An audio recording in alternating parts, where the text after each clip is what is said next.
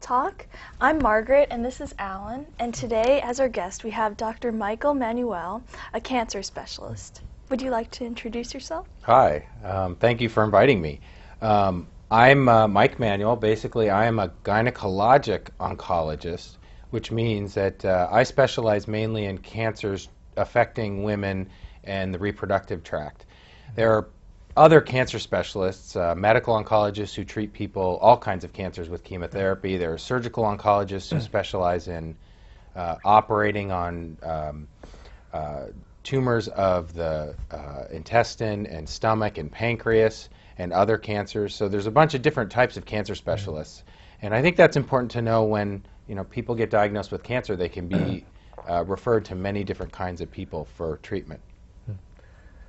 Dr. Manuel, now just to start off, um, uh, first of all, a lot of our audience is new to, new to this. So what is cancer exactly? So cancer basically is um, abnormal cell growth. So any cells in our body can all of, this, all of a sudden become abnormal and undergo an unchecked and unregulated growth. So basically, tumors develop. Um, and they can develop in organs or in the bloodstream or in the brain or other places. Um, and it's basically an abnormality that develops in the DNA um, which causes uh, our own normal mechanisms to um, allow for unchecked cell growth and abnormal cell growth. And then that cell growth can sometimes take over uh, neighboring tissues, it can spread throughout the body. So it essentially means that all cancer is genetic um, in some way because it is an abnormality of uh, the DNA, um, which leads to this sort of unregulated cell growth. Okay. Um, so, can you use tests to uh, check on the cell growth and see if there's cancer there? Or? Absolutely. I think that in the past, a long time ago, cancers would just develop, and most people, we wouldn't be able to do much for people, and people would die of these tumors. Nowadays, we have much better methods of picking up uh, cancers that are developing. So there can be times when people present to their doctor with uh, pain or a mass somewhere, and we have all kinds of new imaging technologies, CT scans and MRIs and PET scans and things like that to evaluate where the mass is coming from and uh, to deal with it.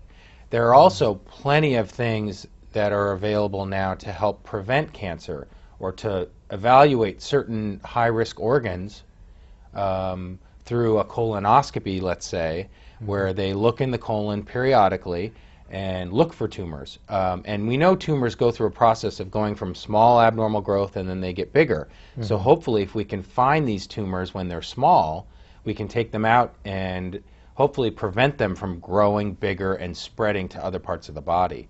Mm-hmm. And I think the most important tests that we have now for screening and to prevent cancer, I think in my uh, in, in my specialty, the Pap smear is by far one of the most important, and it's very important that women get uh, Pap smears because we can pick up single cells off the cervix with the Pap smear that may be changing to cancer. And in that way, hopefully, we can treat it before it develops into full blown cancer. And as an example, in this country, cervical cancer is fairly rare because of the pap smear, and uh, deaths from cervical cancer are also very rare in this country.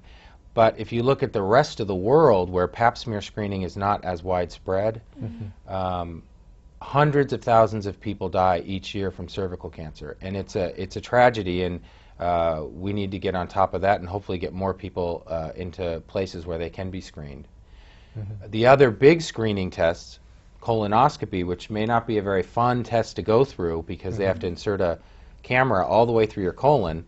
Um, but the recommendation is that once you hit a certain age, age 50 or so, you should have that done every five to 10 years. And hopefully that can help pick up tumors early, excise them, and prevent them from growing into uh, full blown cancers. And then I think one other test that's important to talk about is the mammogram because breast cancer is very prevalent in this country and all over the world. And mammograms also are very good. You hit a certain age and you probably should have a yearly mammogram. And that can also pick up smaller cancers. So hopefully we'll be able to detect cancer at, a, at an earlier stage and help to treat it. Uh, what ages should uh, women get a pap smear or mammogram? You said for colonoscopies around age 50, right? It's it's interesting. Um, for Pap smears, we say that probably age 21, Oh, wow. um, or three years after the initiation of uh, sexual activity. Um, uh, we know that cervical cancer is caused by a virus. This virus is called the HPV or the human papilloma virus. It causes genital warts, and that virus causes changes in the DNA. Again, that's where the change takes place that leads to the cancer. So that virus actually causes the change in the DNA, which leads to the cancer. So pap smears uh, probably should begin around the age of 21 um, or after sexual activity, about three years after sexual activity is initiated. And that um, then goes on every year pretty much. Um, now, there are some variations that are coming out. We know that maybe some people don't need a pap smear every year, maybe every three years, but those guidelines are being worked out. The other thing that we know is, is also becoming very important is we have a vaccine now called Gardasil, which actually um, addresses that virus so that we can vaccinate some people against the virus that actually causes some of these cancers. Okay. So uh, that's just an example of one thing that's coming out that um, is going to help cervical cancer. Um, mammograms, um, it's also somewhat controversial, but at age 40 or age 50, uh, mammograms should be initiated yearly. And I think when we talk a little bit more about inherited cancers, um, we can talk about how that difference is. If, if you have a family history of breast cancer, mammograms may need to start as early as 25 or 30 every year. So. okay. Um, I have a question regarding having um, the HPV virus, and then that creates mutations. So then those mutations pass along to future generations, and that's why um, those viruses, or that's why um, certain cancers are passed down the family line, right? Well, with actually with cervical cancer and HPV, it really just affects the sole individual. So it, it changes the DNA in that person. It does not change any kind of a germline DNA that that can be passed to the next generation, kids or anything. So cervical Oh, wow. cancer is actually one of those cancers that's very rarely inherited through families. Um, it's that's um, so when we talk about the damage to the DNA that causes cancer, um, usually there's a theory that it's a two-hit hypothesis. So you have one damage to the DNA caused by, let's say, you inherited an abnormal gene from a parent, um, but usually it takes something else to actually develop cancer. So let's say you're a smoker, or you know. Um, somebody drinks too much alcohol or some other environmental toxin, that might be the second hit to that DNA that causes a change.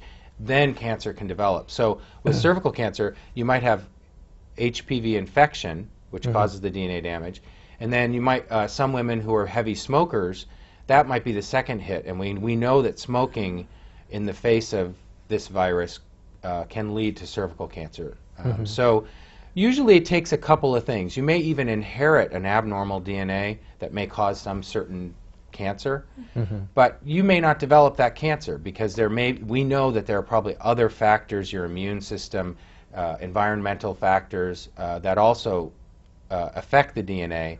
So it's it's really is a multiple process. So. Wow. Um, and I think that it's important nowadays with the Human Genome Project and other big projects looking at the DNA, we're learning a lot more about that and how that's going to change the future of medicine. I think it's really interesting um, um, the way you talk about the combination of environmental effects and genetics. So um, you're saying um, cervical is more a special case of cancer. How about for other types of cancer? How big of a role does environment play in that? So, um, lung cancer is probably the biggest. Um, we know that most lung cancer is caused by smoking. Um, and that that's that's one of the most significant environmental sort of or excuse me or uh, personal habit kind of uh, uh, factors that lead to cancer.